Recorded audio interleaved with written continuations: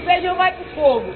Aí bota o feijão no fogo, o feijão queima e ela no zap zap. Ela vai, pra- vai pro mercado comprar um quilo de açúcar. 10 horas da manhã, ela vai chegar 4 horas da tarde, que é a hora que ela vai pro mercado e volta no zap zap, a pessoa não quer mais nem o café mais, nem quer mais. Quando ela queima, feijão queima, o marido vai embora de casa, porque o marido chega em casa, não tem comida pronta, não tem casa arrumada. Não Mas é culpa de quê? do zap zap. A desgraça do zap zap. É, zap zap é uma miséria.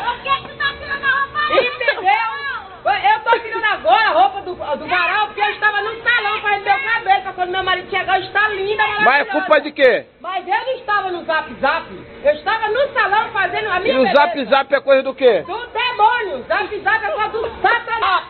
Isso é culpa da Dilma, como diz a mulher mesmo, a miséria da Dilma. Que ela tinha nada dar negócio de zap zap.